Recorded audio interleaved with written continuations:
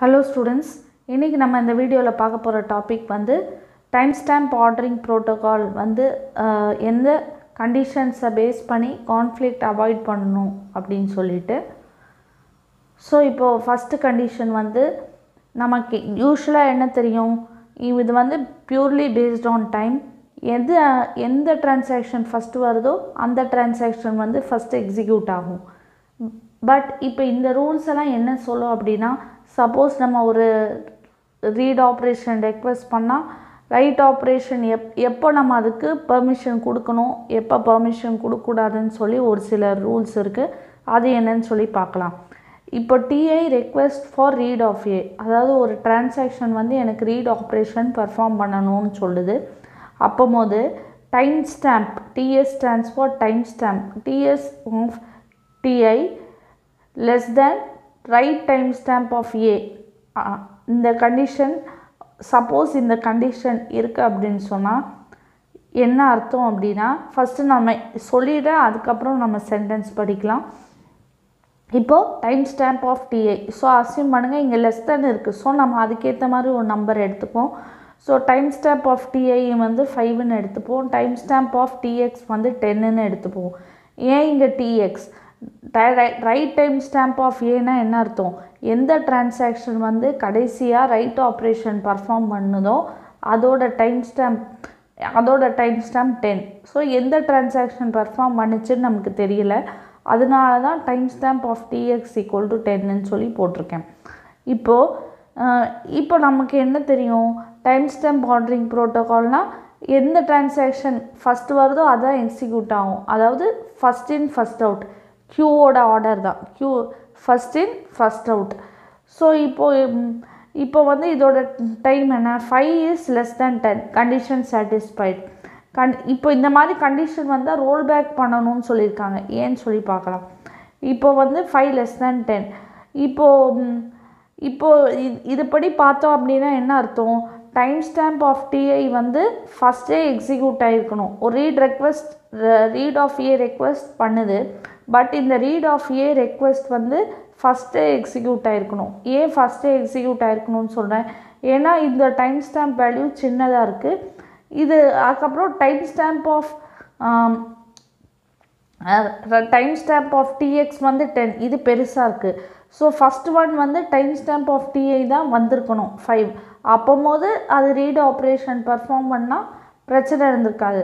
But ஆனால் இப்போ என்ன கேட்குது இப்போ வந்து இப் ஃபை இப்போ வந்து என்ன கேட்குது எனக்கு ரீட் ஆப்ரேஷன் பர்ஃபார்ம் பண்ணணும்னு சொல்லி கேட்குது ஏற்கனவே வந்து ஏற்கனவே வந்து write time stamp of A time வந்து டென் இப்போ இதோட டைம் ஸ்டாம்ப் ஃபைவ் இந்த பாசிபிலிட்டி இருக்கவே இருக்காது. ஏன் அப்படின்னு சொன்னால் இப்போ இது நாட் அலவுட் ஒன்று இது வந்து ஃபஸ்ட்டு வந்தனால ஃபஸ்ட்டே ரீட் ஆப்ரேஷன் ஒருவேளை அந்த ரீட் ஆப்ரேஷன் இங்கே பர்ஃபார்ம் பண்ணிவிட்டு இங்கே டபிள்யூ ஆஃப் ஏ இங்கே டென் இருந்ததுன்னா இது வந்து செல்லும். ஏன் அப்படி சொல்கிறேன்னா வந்துட்டு இதோட டைம் ஸ்டாம்ப் கம்மியாக இருக்குது எப்பயுமே எதோட டைம் ஸ்டாம்ப் கம்மியாக இருக்கோ அதான் ஃபஸ்ட்டு எக்ஸிக்யூட் ஆகும். இப்போ இங்கே இது என்ன சொல்லுது? இந்த time stamp of TX equal to ten இது முடிச்சதுக்கப்புறம் திருப்பி இது கேட்குது இதோட டைம் ஸ்டாம்ப் கம்மியாக இருக்கிறதுனால நம்ம அலோவ் பண்ண முடியாது. அதனால் இந்த ஆப்ரேஷனை நம்ம என்ன பண்ணணும்? ரிஜெக்ட் பண்ணணும். சரியா? இப்போது அதுதான் இங்கே சொல்லியிருக்கேன். இப்போது நான் வந்து ஒரு ரீட் ரிக்வெஸ்ட் பண்ணும்போது வெறும் ரைட் டைம் ஸ்டாம்போட மட்டும்தான் கம்பேர் பண்ணியிருக்காங்க. ஏன் அப்படின்னு சொன்னால் ரீடுக்கும் ரீடுக்கும் கான்ஃப்ளிக்ட் வராது. ரீடுக்கும் ரைட்டுக்கும் தான் கான்ஃப்ளிக்ட் வரும். அதனால ஒரு ரீட் ஆப்ரேஷன் பர்ஃபார்ம் பண்ணும்போது ரைட் டைம் ஸ்டாம்ப் வச்சு மட்டும் கம்பேர் பண்ணி போட்டிருக்காங்க. ஸோ இப்படி இப்போ இங்கே பர்ஃபார்ம் பண்ண வேண்டியது இங்கே பர்ஃபார்ம் பண்ண கேட்குது அப்படின்னு சொன்னால் அது நம்மளால் அலோவ் பண்ண முடியாது. ஸோ இது ஒரு க்யூ மாதிரி தான் இப்போ நீங்கள் வந்து ஒரு டிக்கெட் வாங்குறதுக்கு க்யூவில் நிற்கிறீங்க இப்போ ஏதாவது ஒரு புது படம் வாங்க வந்திருக்கு ரிலீஸ் ஆகிருக்குன்னு சொன்னால் நம்ம என்ன பண்ணுவோம்? ப்ரீவியஸ் டேயே வந்து தேட்டரில் போய் ஒன்று டிக்கெட் புக் பண்ணுவோம். இல்லைன்னா ஆன்லைனில் ஓப்பன் ஆச்சான்னு பார்ப்போம். சப்போஸ் நம்ம தேட்டரில் போய் புக் பண்ணணுன்னா என்ன பண்ணுவோம்?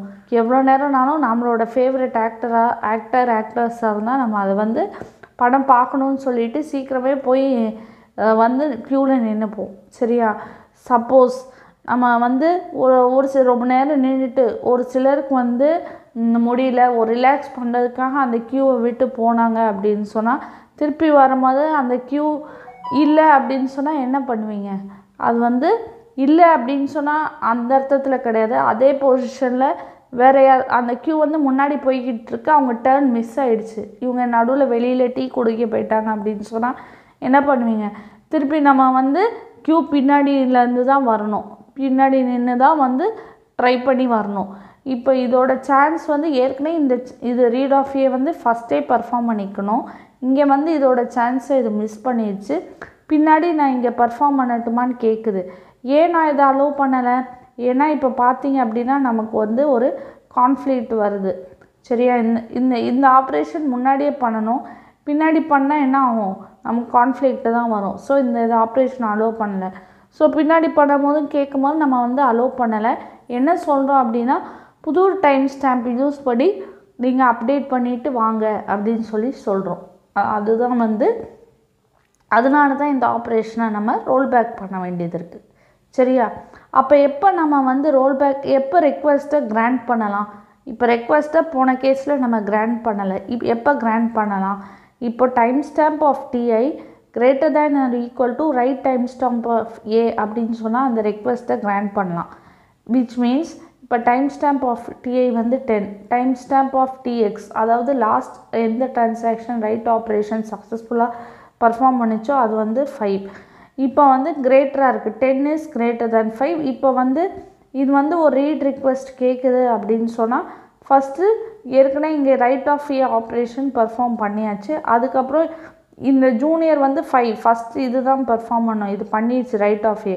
அதுக்கப்புறம் நான் வந்து என்ன சொன்னேன்? எனக்கு ரீட் ஆஃப் ஏ பர்ஃபார்ம் பண்ணணுன்னா நான் அலோவ் பண்ணலாம். ஏன்னா இந்த டிரான்சாக்ஷன் கண்டிப்பாக லாஸ்ட் ரைட் ஆப்ரேஷன் முடிச்சுட்டு போயிடுச்சு. ஸோ எனக்கு வந்து எந்த கான்ஃப்ளிக்ட்டும் வராது. இந்த மாதிரி கேஸில் நம்ம அலோவ் பண்ணலாம். அப்போம்போது நம்ம கடைசியாக இங்கே வந்து இதோட வேல்யூ ஃபைவ்னு அப்டேட் பண்ணோம் இல்லையா? ரை லாஸ்ட் ரைட் ஆப்ரேஷன் வந்து எந்த டிரான்சாக்ஷன் சக்ஸஸ்ஃபுல்லாக முடிச்சுக்கோ அதை வேல்யூ ஃபைவ்னு அப்டேட் பண்ணோம் அதே மாதிரி இந்த இது பர்ஃபார்ம் பண்ணிவிட்டு இதோட வேல்யூ எப்படி அப்டேட் பண்ணுவீங்க?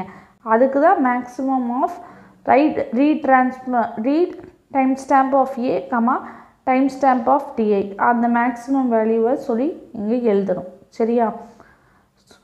ஸோ இப்போ இது கிரேட்டர் தேனுக்கு இந்த கண்டிஷன் அலௌடு இப்போ கிரேட்டர் தேன் ஈக்குவல் டூக்கு அப்படின்னு சொன்னால் இப்போ ஈக்குவல் டூ வரும்போது எப்போ எப்படி இந்த கண்டிஷன் அலௌடு இப்போது ஒரு வேளை சப்போஸ் இங்கேயும் நமக்கு வேல்யூ டென் இருக்குது இங்கேயும் டென் இருக்குது நம்ம போன வீடியோவில் என்ன பார்த்தோம்?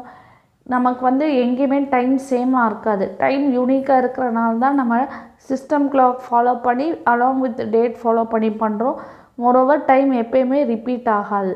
அதனால தான் அதை ஒரு அடையாளமாக வச்சு நம்ம பண்ணுறோம் வேறு எதுவுமே நம்ம வந்து டோக்கனில் எடுக்கலை. நம்பர்ஸ் வந்தால் திருப்பி நம்ம வந்து எவ்வளோ நேரம் பண்ண முடியும்னு தெரியாது இல்லையா? ஸோ யூனிக்காக இருக்கிறனால இதை எடுக்கிறோம். அப்போது அப்போ எப்படி இங்கே ரெண்டு இடத்துலையும் ஒரே வேல்யூ வந்ததுன்னா சப்போஸ் ரெண்டு இடத்துலையும் equal to value same value இருந்ததுன்னா என்ன அர்த்தம்னா ஃபஸ்ட் ஒன் வந்து ஒரு டிரான்சாக்ஷன் வந்து கடைசியாக ரைட் ஆப்ரேஷன் பர்ஃபார்ம் பண்ணியிருக்கு. திருப்பி அந்த read of A time stamp பார்க்கும்போது அதுவும் டென் இருக்குது ரைட் ஆஃப் ஏ டைம் ஸ்டாம்ப்லேயும் டென் இருக்குது அப்படின்னு சொல்லலாம். என்ன மீனிங்னா ஒரே டிரான்சாக்ஷன் வந்து ஃபஸ்ட்டு வந்து ரைட் பண்ணியிருக்கு திருப்பி அதே டிரான்சாக்ஷன் அது மறந்துருச்சு. ஃபஸ்ட்டு நான் ரைட் பண்ணியிருக்கேன்னு திருப்பி அதே டிரான்சாக்ஷன் திருப்பி ரீட் பண்ணணும்னு நினைக்குது. அது தப்பு இல்லையே யார் வேணாலும் ரீட் பண்ணலாம் இல்லையா? அதே டிரான்சாக்ஷன் திருப்பி ரீட் பண்ணணும்னு நினைக்குது. ஸோ அதே ட்ரான்சாக்ஷன் தான் ஏற்கனவே முன்னாடி பர் பெர்ஃபார்ம் பண்ணியிருக்கு. திருப்பி அது ரீட் பண்ணணும்னு நினைக்கும் போது தான் நமக்கு வந்து இங்கே சேம் வேல்யூ வருது. ஏன்னா நான் ஃபஸ்ட்டு என்ன சொன்னேன்? எந்த ட்ரான்சாக்ஷனையும் சேம் வேல்யூ இருக்காது.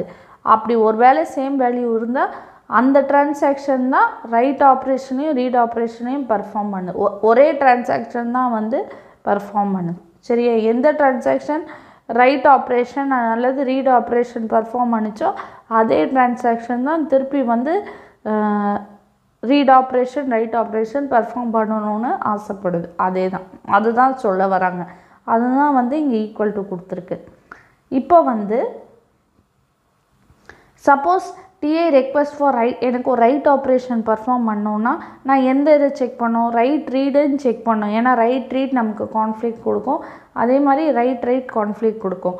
ஸோ ரைட் ரீட் கான்ஃப்ளிக் கொடுக்கும்போது இதே கண்டிஷன் தான். இப்போ ஃபார் எக்ஸாம்பிள் இங்கே ஃபைவ் இருக்குது இங்கே டென் இருக்குது five is less than ten condition satisfied so write of A வந்து அது பர்ஃபார்ம் பண்ணணும்னு சொல்லி எனக்கு டிஎஸ் ஆஃப் டிஏ என்கிட்ட வந்து கேட்குது எப்போ கேட்குது லெஸ் தென் டென் இந்த ஆப்ரேஷன் ரீட் ஆஃப் ஏ முடிஞ்சோடனே இங்கே பர்ஃபார்ம் பண்ணட்டுமான்னு கேட்குது என்னால் அலோவ் பண்ண முடியாது. ஏன் அப்படின்னு சொன்னால் இது ரைட் ஆஃப் இங்கேயே பர்ஃபார்ம் பண்ணியிருக்கணும் ஸோ இப்போ அலோவ் பண்ணால் எனக்கு என்ன வரும்? கான்ஃப்ளிக்ட் வரும்.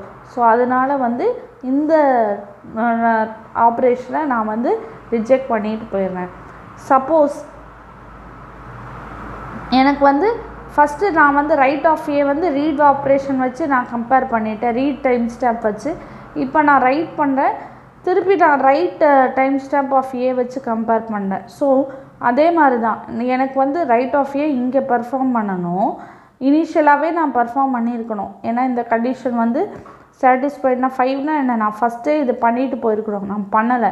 நான் கொஞ்ச நேரம் கழித்து வந்து என்ன சொல்கிறேன் எனக்கு அதை செய்யணும்னு சொல்கிறேன் செய்யணும்னு சொல்லும்போது நான் அலோவ் பண்ண முடியுமா? முடியாது ஏன் அப்படின்னு சொன்னால் எனக்கு ரைட் ரைட் கான்ஃப்ளிக்ட் வருது.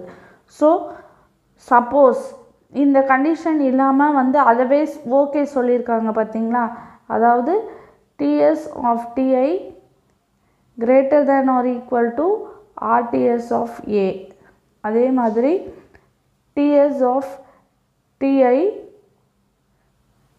less than or equal to WTS of A இந்த கண்டிஷன் இருந்ததுன்னா சாரி கிரேட்டர் தேன் ஆர் இந்த கண்டிஷன் இருந்ததுன்னா இது நம்ம வந்து ரைட் ஆப்ரேஷன் அலோவ் பண்ணலான்னு அர்த்தம். அப்புறம் கடைசியாக நமக்கு அலோவ் பண்ணிவிட்டு அதுக்கு ஒரு டைம் ஸ்டாம்ப் கொடுக்கணும் இல்லையா? நம்ம அப்டேட் பண்ணுவோம் இல்லையா டைம் ஸ்டாம்ப் வேல்யூ அப்போ அதை எப்படி கொடுக்குறது அப்படின்னா maximum of write time stamp of A comma time stamp of TI எது மேக்ஸிமமாக இருக்கோ அதை வேல்யூவை நம்ம அசைன் பண்ணணும். சரியா? ஸோ இந்த வீடியோவில் நம்ம வந்து எந்த ரூல்ஸ் ஃபாலோ பண்ணால் ரீட் ஆப்ரேஷன் இல்லை ரைட் ஆப்ரேஷன் அலோவ் பண்ணான்னு சொல்லி பார்த்தோம். டைம் ஸ்டாம்ப் ஆர்டரிங் ப்ரோட்டோக்காலில் அடுத்த வீடியோவில் நம்ம வந்து properties of time stamp ordering ப்ரோட்டோக்காலில் என்னன்னு பார்க்கலாம். Thank you